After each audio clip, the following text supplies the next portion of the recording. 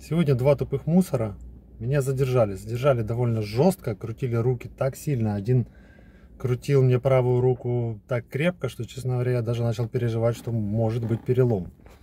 Ну, наверное, там просто растяжение. Сейчас пойду к врачу э, для того, чтобы фиксировать. Ну, выглядит это вот так вот. Кровь, короче, рука опухла, запястье очень болит. Заявление в ДБР я уже написал. Э, вот.